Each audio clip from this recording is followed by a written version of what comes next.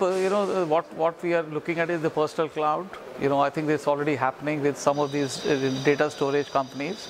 They create a personal cloud for your family at home where you can store your movies and music and photographs and you can see them from anywhere in the world, frankly.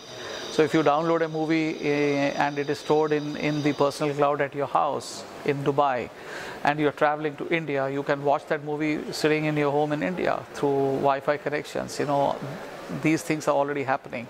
Although awareness is not very high, uh, you know, I mean, everyone knows of the iCloud, you know, what is provided by Apple, but then every house can have their own personal cloud.